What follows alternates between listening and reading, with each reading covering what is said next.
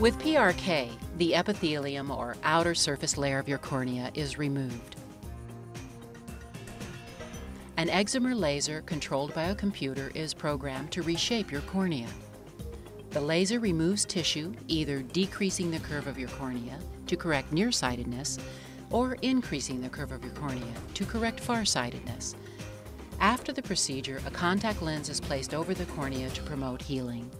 The reshaped cornea focuses light more accurately on the retina.